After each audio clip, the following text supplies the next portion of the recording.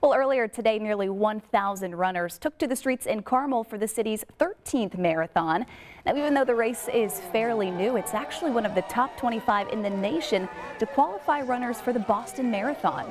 So today's race also included a half marathon, a 10K, and a 5K, as well as a marathon relay. Kelly, all those folks out there today had beautiful oh weather. Oh my gosh, it was a beautiful day today.